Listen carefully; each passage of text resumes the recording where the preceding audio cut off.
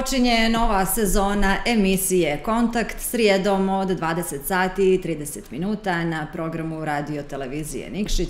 Govorimo o aktuelnim društveno-političkim temama sa relevantnim e, gostima. Analizirat ćemo sva dešavanja na političkoj sceni Crne Gore. Kao što znate, trenutno je u fokusu e, formiranje 44. vlade, a o tome, ali i drugim, naravno, e, temama večeras razgovaramo sa gospodinom Slavenom Radunovićem, poslanikom koalicije Za budućnost Crne Gore.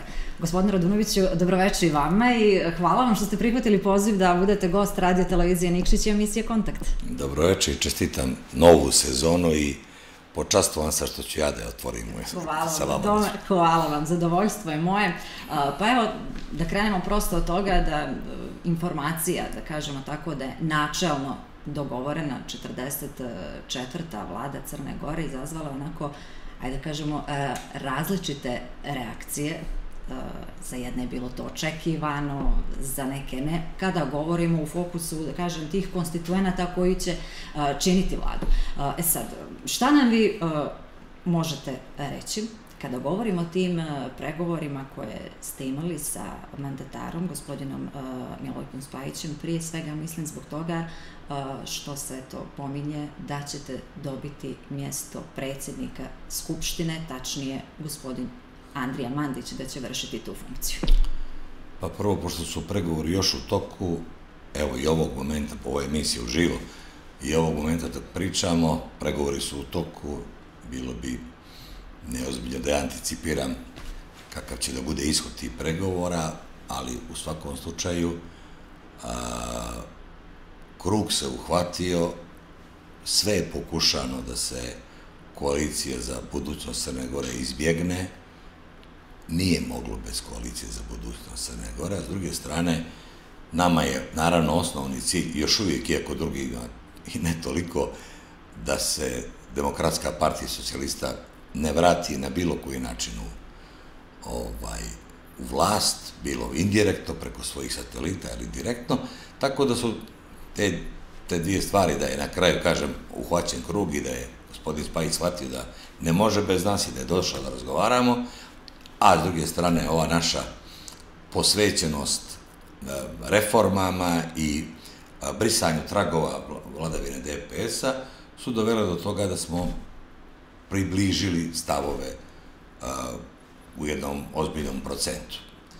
Tu su sada u pitanju neki drugi konstituenti, Znate da su bili u igri bošnjaci, pa su odustali. Sada su i demokrate u igri, vidjet ćemo će li biti još nekog, ali u svakom slučaju taj broj ljudi koji bi trebalo da podržava 44. 44. vladu je sve veći veći broj poslanika. Najverovatnije će biti ona magična cifra od 49.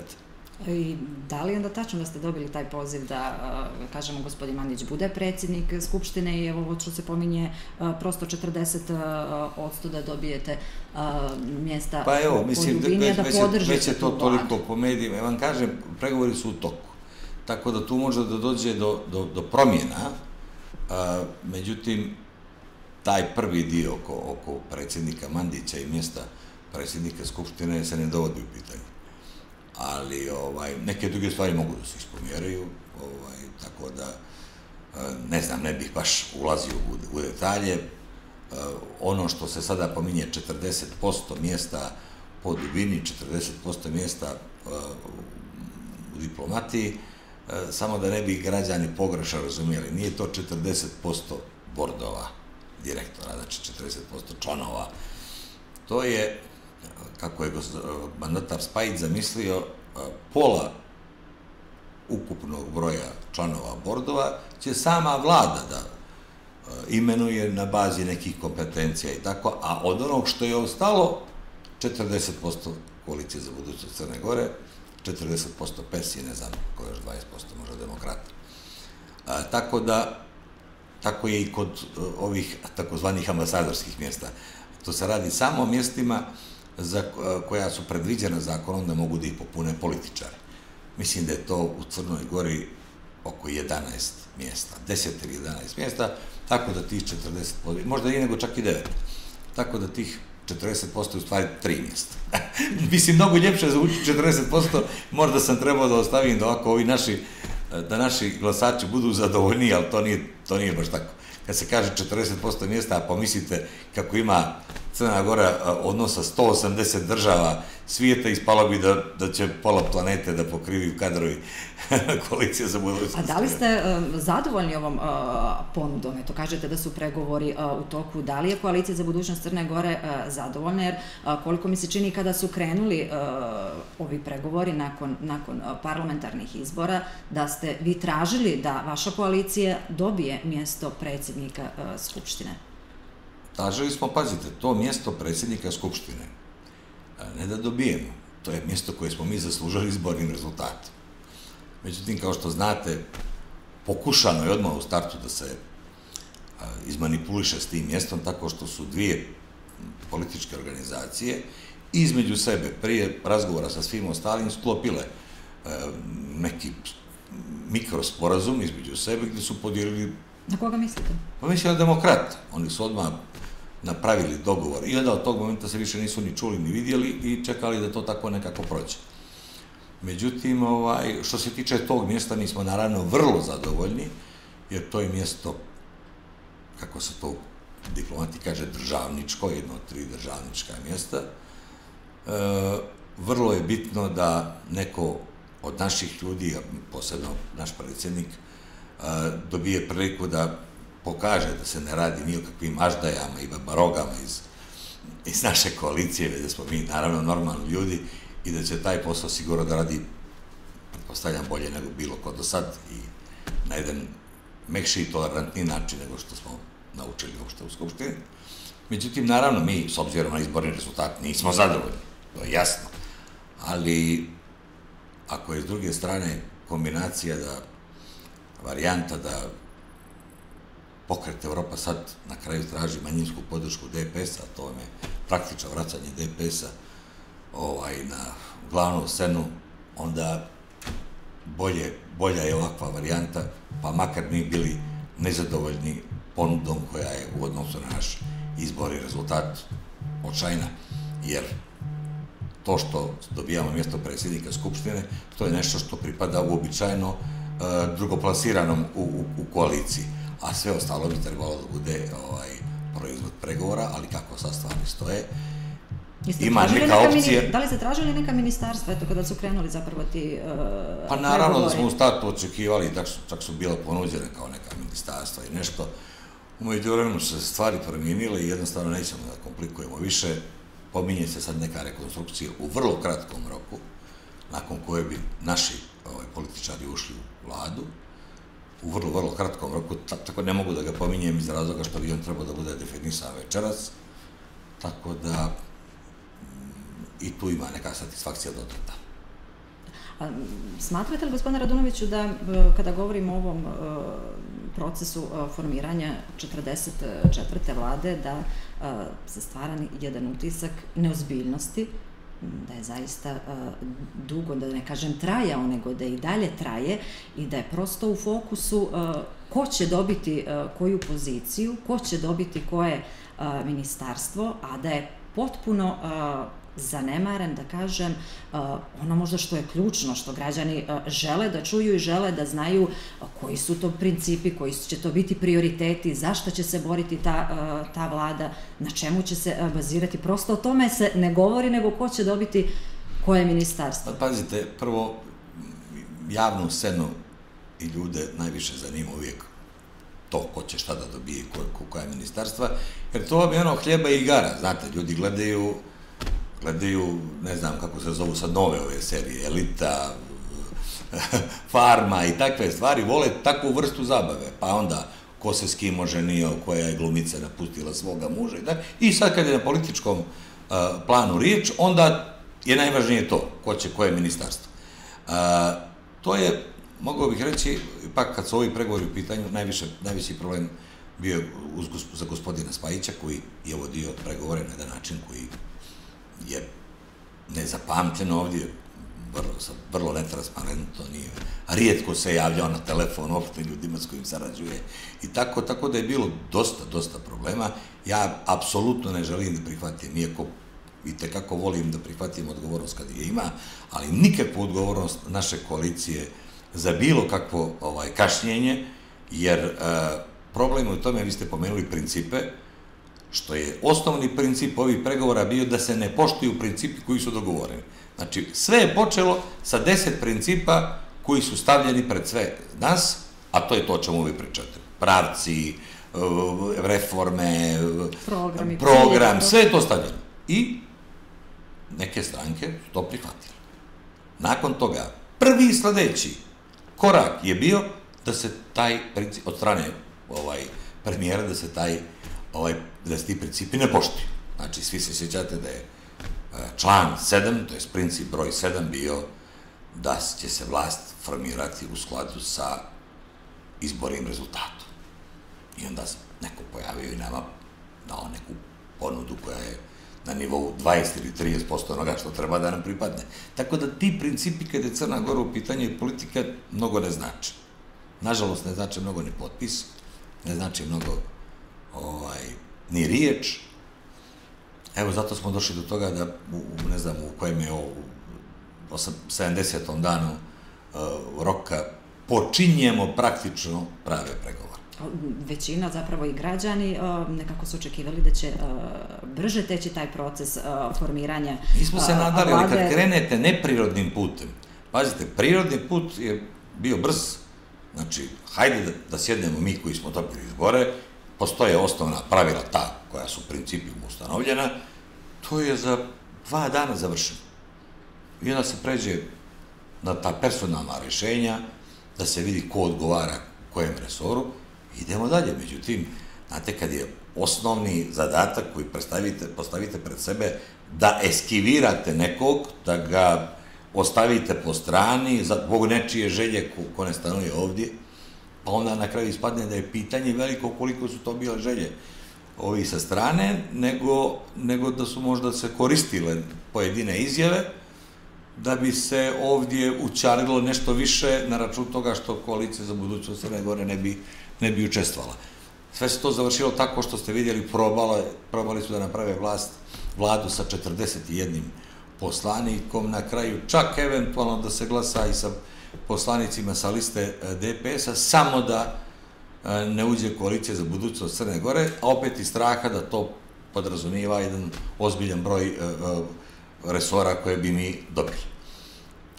Kad, su, kad je to sve propalo, onda su se vratili da pregovaraju sa nama, s tim što, kaže, mi smo obećali da nećemo kalkulisati i da nećemo dozvoliti da Demokratska partija socijalista dobije šansu, a vidite kako se ovdje stvari minjaju iz dana u dan, ne bi se iznenadio da neko od ovih učesnika postavi neki novi uslov ili nešto da bi se ipak dala šansa i Mlađanom Đukanoviću i, i ostali, na šalim se kaže, Mlađanom, da još jednom proba.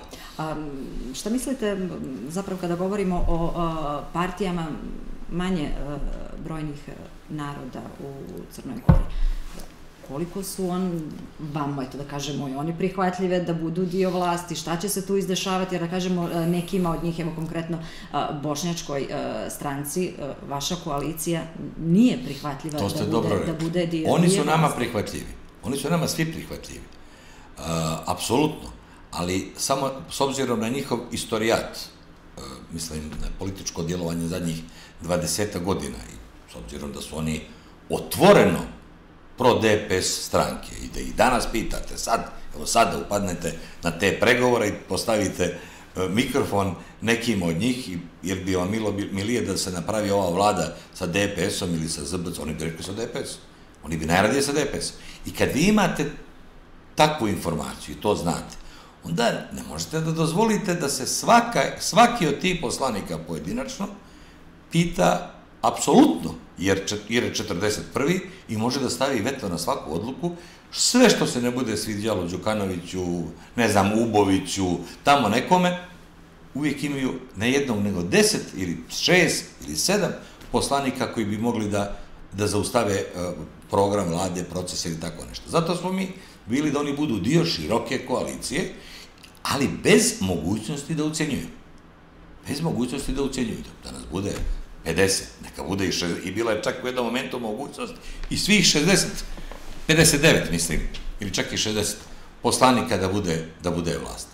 Ali, videli ste, nismo problem mi. Mi smo htjeli sa bošnjacima. Ali bošnjaci neće sa nama, jer oni imaju drugi zadatak. A to je da se DPS vrati na vlast.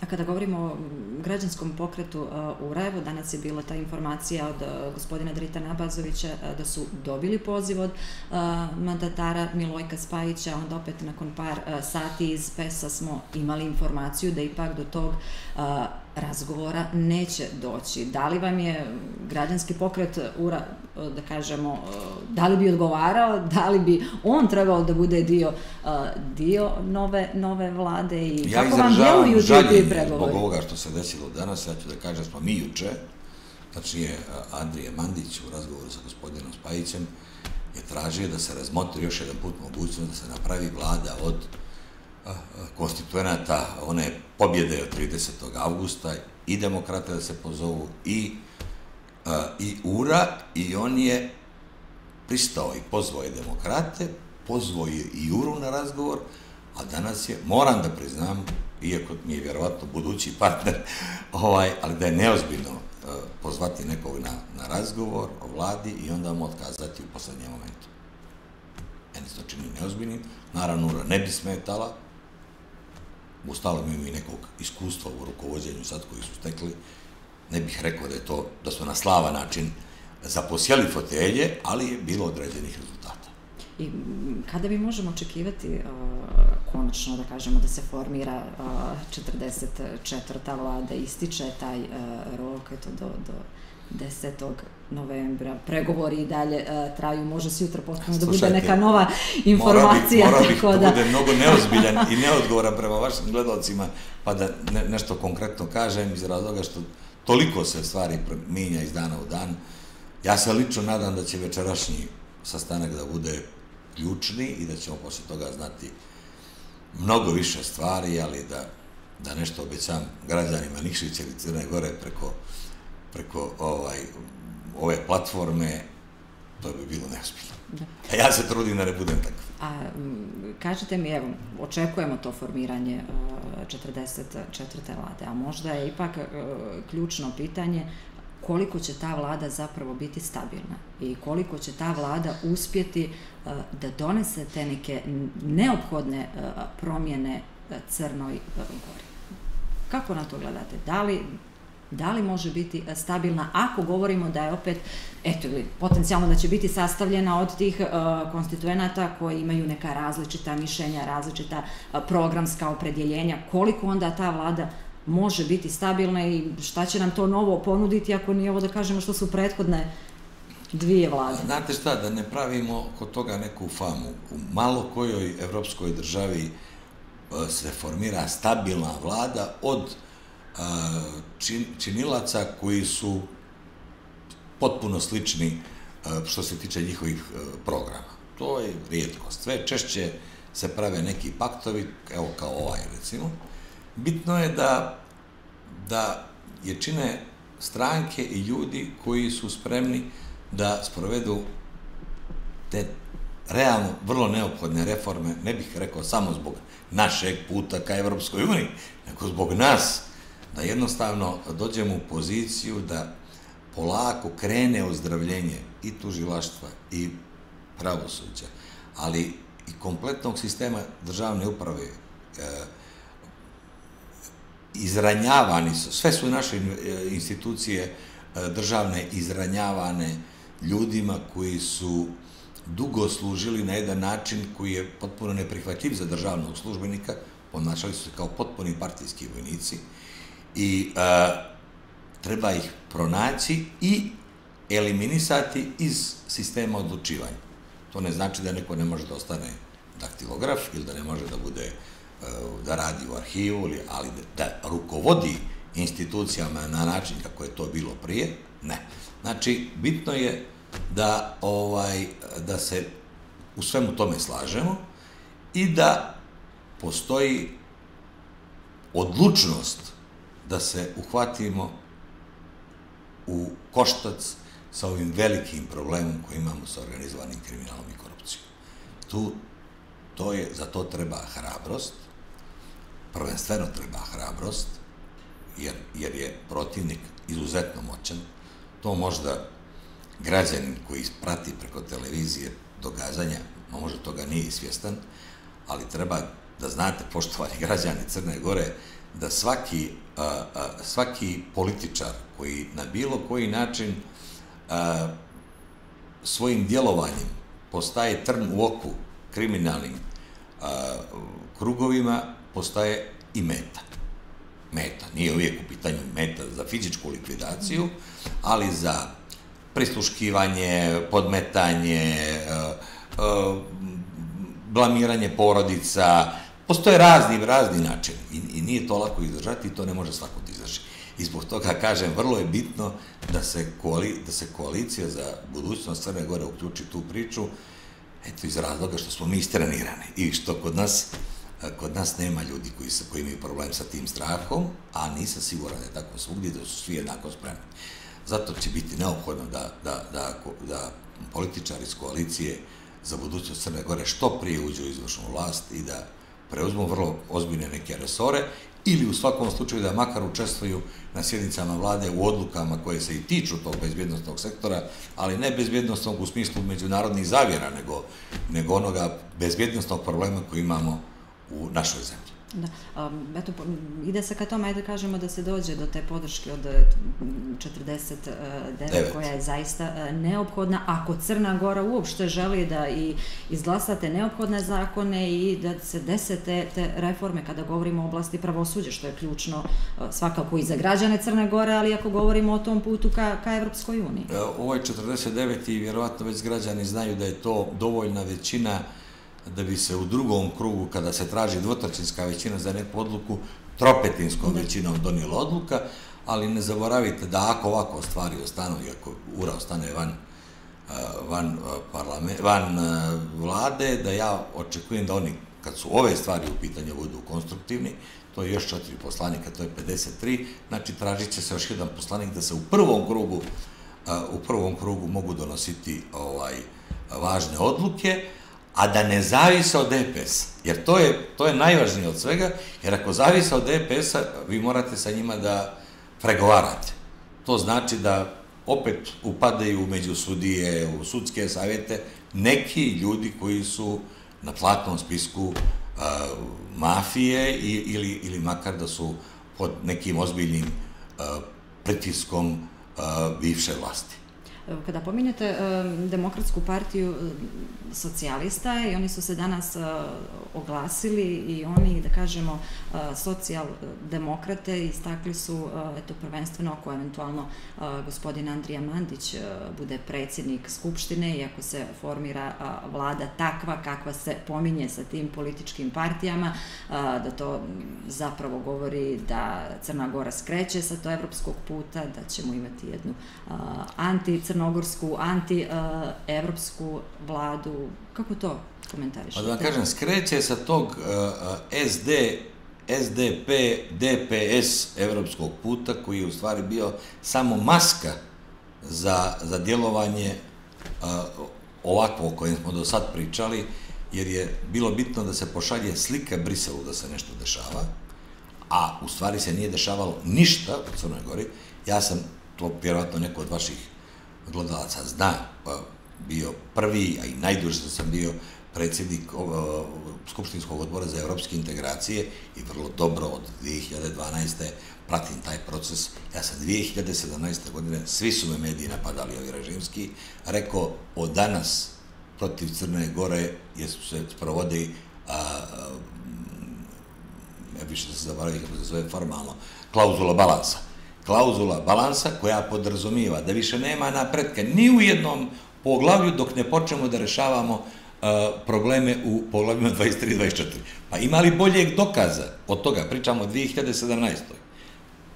Puno i snazi je bio DPS, da su oni prikrivali sve drugo, sve se sarađivalo sa Briselom, što nije tangiralo poslove kriminalne porodice Đukanović i ostalih.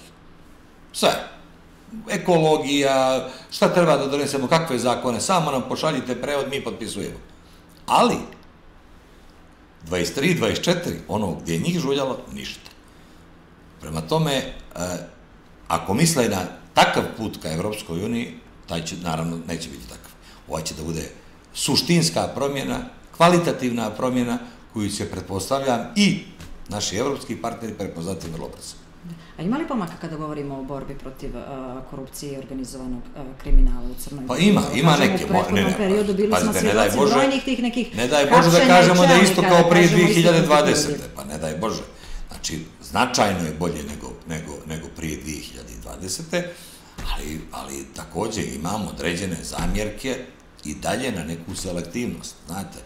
Znači, da vas podsjetim da, da i dalje, pored svi, pored onog smiješnog procesa koji je pokrenuo Milivoje Katnić protiv nas kao državni udar i nakon što je čitava Crna Gora vidjela o čemu se radi, svi se smijali, šalili na račun toga i poništio apelacijani sud presudu.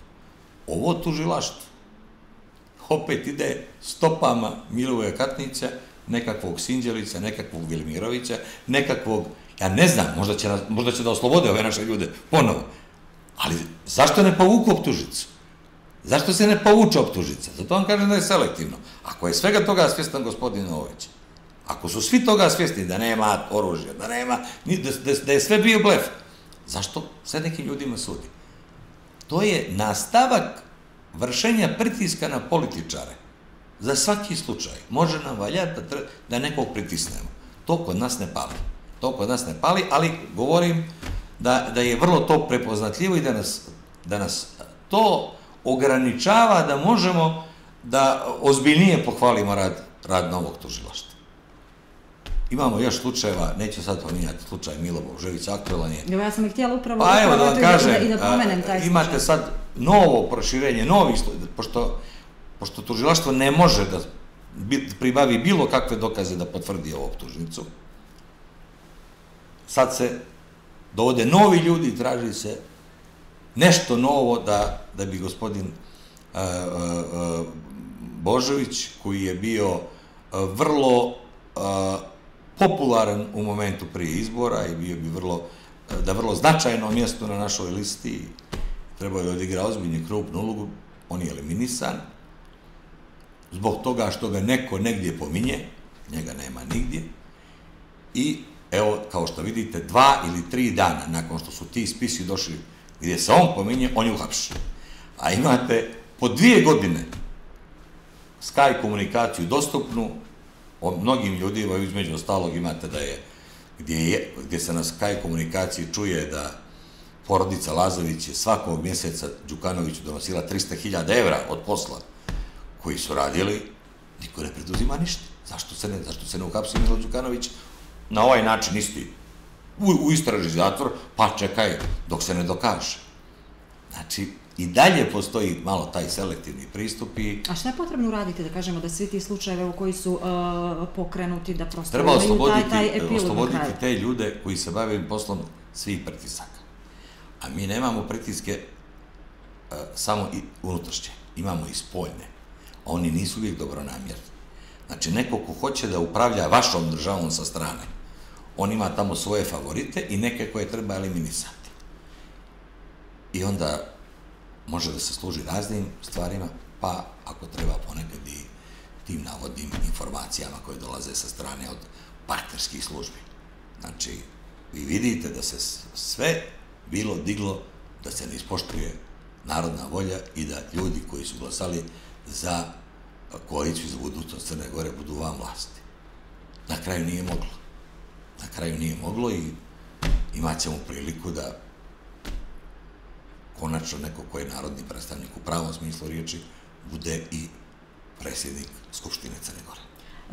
Kada pominjete taj uh, strani uticaj, ajde to da, da, da tako kažem, uh, i tokom uh, samih ovih pregovora oko formiranja 44. vlade, puno se govorilo o tom uticaju, da li uticaju, da kažemo, stranih ambasada ili eventualno da kažemo uticaju e, Srbije. Slušajte, stvorio se taj narativ koji po onoj staroj hiljadu puta ponovljena laž postaje istina kao o strašnom miješanju Rusije i Srbije u pregovarački proces. Pa ja mislim da ne postoji živ čovjek u Crnoj Gori koji može jednu rečenicu da izdvoji da bi nekako povezao sa nekakav, nekakvim ruskim uticajem. Što se tiče Srbije, bilo je par izjava uh, predsjednika Srbije Vučića koji je samo onako konstatovao pričajući o svojim sunarodnicima u Crnoj Gori, evo, svi mogu u vladu, izgleda osim Srbi. Ništa drugo. Nije govorio ni ne mogu demokrate, ni može SMP, ni može ovaj, ni ne može onaj. To nije nikakvo miješanje, to je. A sve, sve i da ima nekog miješanja iz Srbije. Ono relativno ima nekakvo logično utemeljenje. Ovdje živi preko 30% Srba, a ne živi maltere ni jedan Amerikanac ili Njemac. Znači, ovdje se priča o, o konkretnom interesu zbog velike populacije koja ovaj ovdje o, živi. A ovo drugo je isključivo usmjeravanje crnogorske politike u pravcu interesa stranih država koja, koja a ti su e, e, ti interesi se ne poklapaju uvijek sa crnogorskim.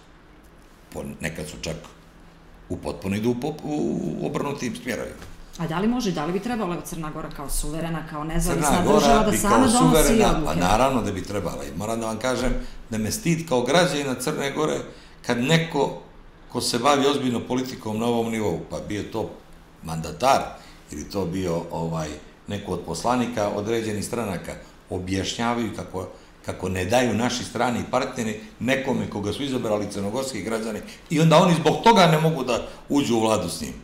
Pa to, to, je ponižavajuće. To je baš ponižavajuće. Nađite neki drugi razlog. Da ne znam, da smo ružni, debeli, da... Nađite neki razlog. Ali, ali to da vam ne da neko, pazite, pa to, to, to, toga ima i u drugim državama, ali tamo to kriju, jer se ljudi stide toga, a ovdje se ljudi ponose da su nečije slugi i špijoni. To je nevjerovatno. On što... Tu misli šire i na, i na, i na, medije, i na medije i na, i na NVO sektor i to, to je, to je, to je zaista nevjerojatno. Ja se pitam ponekad gdje živim. Ovdje je postalo potpuno normalno da uz obrazloženje da su naši zapadni partneri nešto rekli, sve je moguće. Hajde probajte vi vašim zapadnim partnerima nešto da kažete. Evo neka probaju recimo Njemci, Poljacima, Francuzi, Špancima. Neko ne, ne, nema toga. Ima granica pristojnosti koja se zna i dokle može da se ide.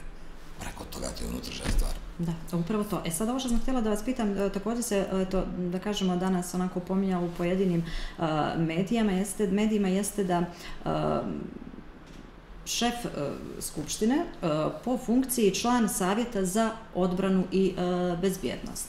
Uh, tu ima da kažemo više tih nadležnosti da se govori kada se govori o bezbjednosti same države, kada se govori o upravljanju vojskom, o međunarodnim misijama i slanju naših vojnika u mirovne misije, saradnja sa NATO-om.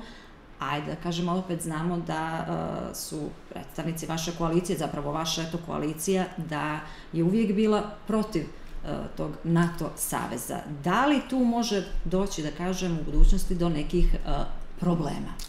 Prvo, uh, da nešto konstatujemo. Znači, vidite da to nije bilo baš tako.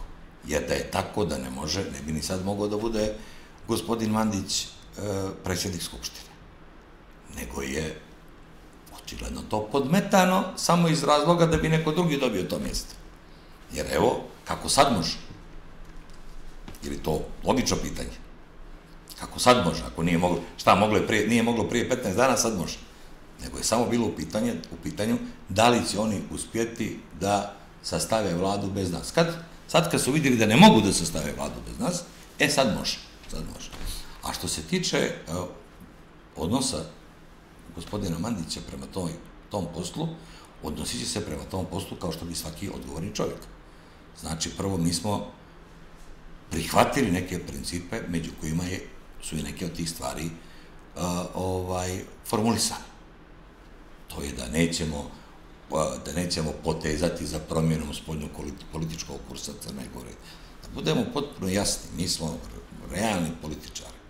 Da biste vi mogli da tako neke grube promjene napravite u društvu, morate da imate mnogo veću podršku nego što je mi imamo.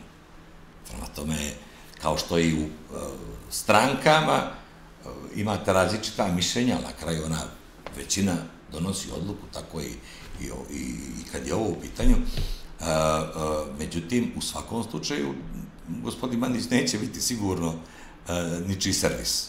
To, to budite sigurni, ne moram u to da vas uvjeravam, već je racionalno da razmišlja u i odlučuje u pravcu interesa Crne Gore i građana Crne Gore.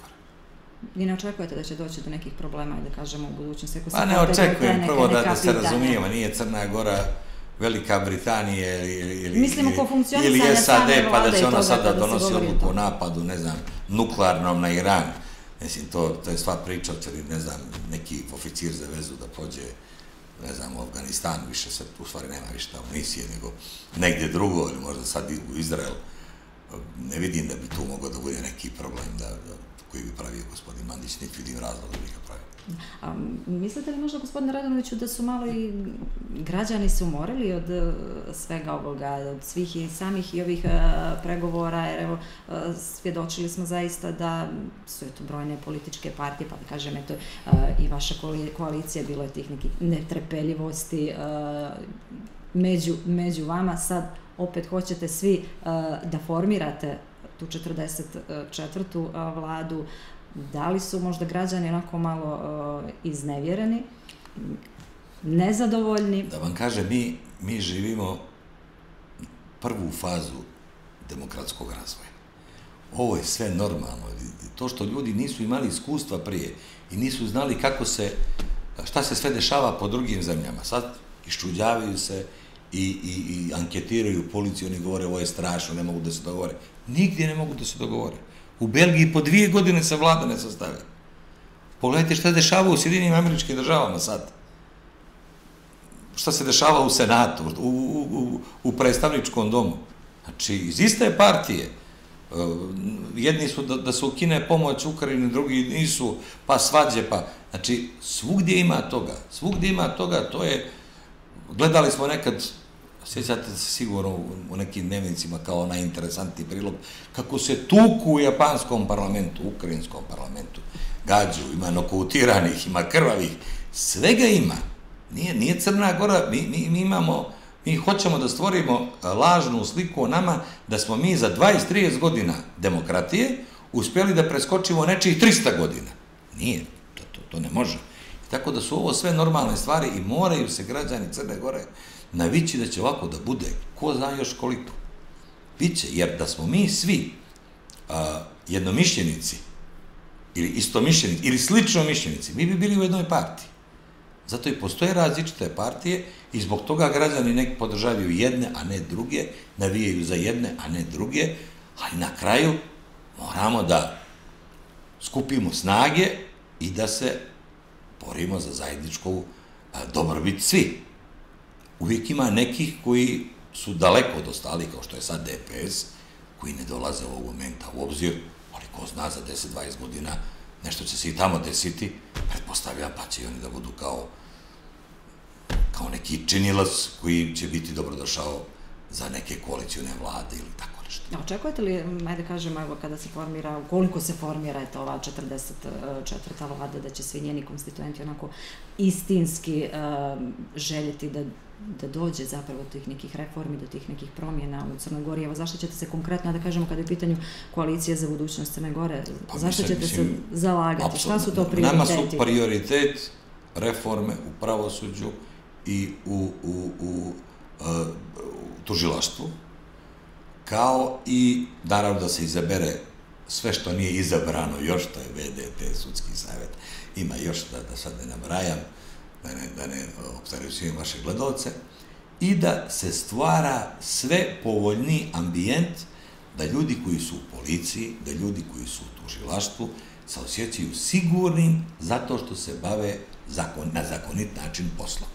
A ne da drhte što, da li će ih neki Zoran Lazović sresti u hodniku, pa ih pozvati na, na razgovor, ili neko drugi koji je do sad po zvaničnim institucijama Crne Gore imao svoje organizovane grupe koje su radile za jednu porodicu, onu glavnu i njihove prijateljske porodice. Znači, osnovno je da stvorimo ambijent u kojem ljudi koji žele da pomognu reformama i napretku ove države da budu bezbjedni i da mogu da se bave svojim poslom relativno neopterećeno i ne brinući za živote svojih najbližih i svojih. Mi to čujemo od svih političkih partija, zapravo pa predstavnika ja, ja, svih političkih ja, partija, nikako da dođemo do te stabilnosti. Ja, ja znam da to drugi govore, ali drugi su bili u prilici nama, koji smo za sve ljude koji prate crnogorsku političku scenu zadnjih makar deset godina, je jasno da smo bili najtvrđi borci protiv DPS. Nama nije omogućeno. Znači, nama koji bi sigurno najbrže i najefikasnije dali rezultate u toj borbi, nama nije omogućeno. A neka se građani pitaju zašto. Nisu u pitanju samo unutrašnje stvari, nego Milo Đukanović je mnoge zapadne adrese zadužio nekim nečasnim potezima u ime Crne Gore, ali kojima je kupovao naklonost kod tih zapadnih partnera, jer su njemu, njima tog momenta te odluke koje je donosila Crna Gora pod Milom Đukanovićem bila strašno važna.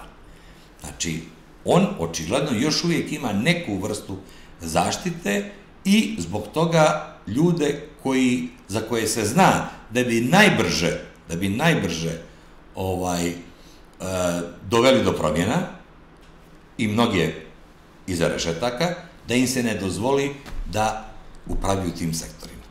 To je, ja sam siguran, ja sam svakom dobronamjerom građanu i koji, građanu i koji navija za nas i koji ne navija. Znači, i oni neprijatelji znaju da je tako i brinu jedino Budite sigurni, noće se u DPS-u nerviraju samo zbog jedne stvari. To? Što je koalicija za budućnost Crne Gore dio vlasti. Samo zbog toga. Ne nerviraju se zbog drugih. A, evo, pominje sad da kažemo je ta uh, 30. avgust 2020. Uh, godine, ti parlamentarni izbori. Da li se išta u Crnoj Gori promijenilo od tih uh, parlamentarnih izbora? Jer kažemo, dosta građana, evo i kroz brojne neke ankete i emisije su skeptični po pitanju ove vlade. Zašto ova možda neće biti neki eksperiment kao što su bile prethodne dvije? Znači, potpuno otvoreno. Ni ova vlada nije ako, ako sve bude kako je sad izgleda u ovom momentu, ali ni ova vlada nije sastavljena na prirodan način, kako je to očekivano. Tako da imaju razloga da budu skeptični. Ja sam malo prije to obrazlagao. Opet u vladi nema onih koji bi vukli najenergičnije poteze. Nije, I tako da, i u prethodnoj, i u onoj prije nje, ista je situacija. Znači, ista situacija. Oni koje je DPS dobro zadužio, tako što su ležali po zatvorima, po sudovima provodili po 10 godina, tako oni ne dobiju priliku da, da ovaj, preduzmu korake da se to više ne dešava. Oni koji su to posmatrali iz televizora, menjajući programi, kad im je dosadno da gledaju tamo nekog Slavena ili nekog s lisicama, onda oni prebace na film i onda se posle pojave kao veliki borci protiv DPS-a, koji na kraju, kad dobiju priliku, eksperti, ovi, oni, jeli, godinu, dvije, ne urade ništa. Ne urade ništa po tom pitanju. A onda se narod ljuti na sve. Pa ne može na sve. Nismo dobili šansu. Evo, sad prvi put dobijamo ozbiljno jedno mjesto.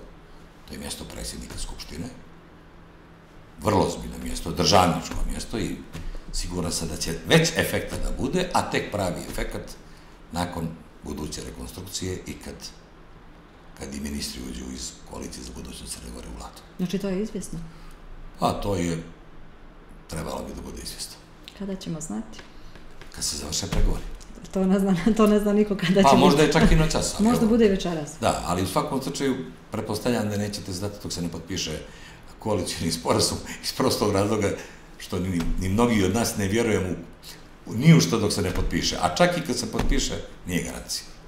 A, prije nego što se upalila kamera i to što smo uh, počeli ovaj uh, razgovor, rekli smo da ćemo se doteći nekih drugih tema osim, osim uh, formiranja 44. vlade.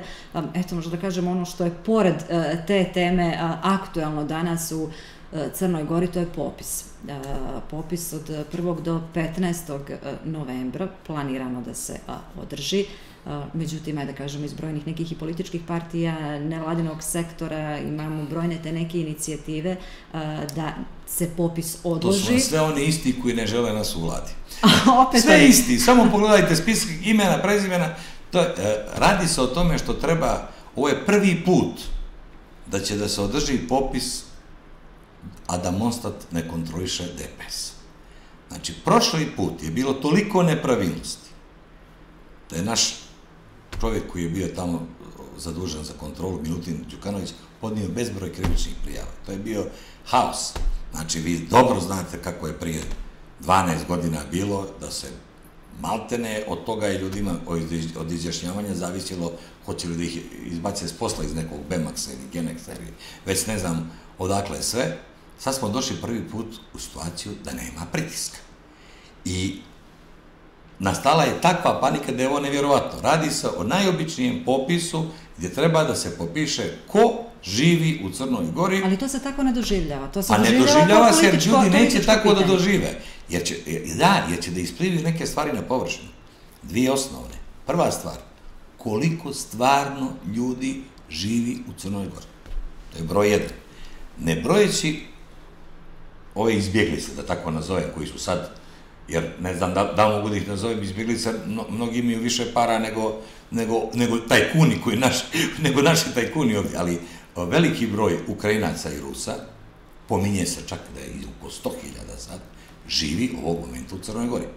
Po međunarodnim standardima, posebno Eurostatovim standardima, oni, pošto žive duže od šest mjeseca u Crnoj Gori, oni moraju da budu popisani ovdje kao građani Crne Gore da bi se izbjeglo da se popiše, da, da mogu da budu popisane dva mjesta. A znači, ako njih maknemo iz ove računice, vidjet ćete da Crna Gora ima 70-80 hiljada stanovnika manje nego što što mi računamo svih kao 620 hiljada. Nema te stanovnike.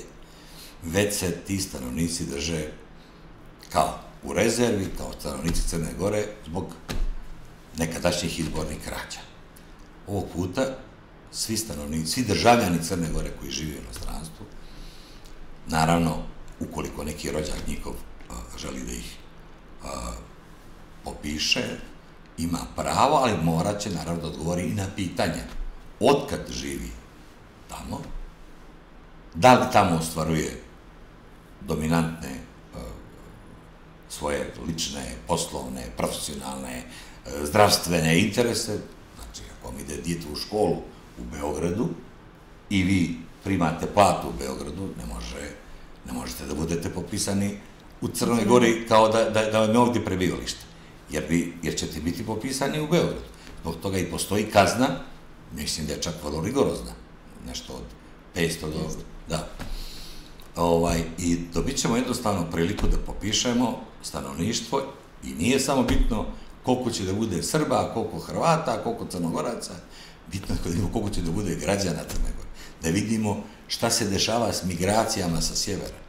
Imate gradove koji će da budu možda na pola onog broja koji su imali 2011. godine.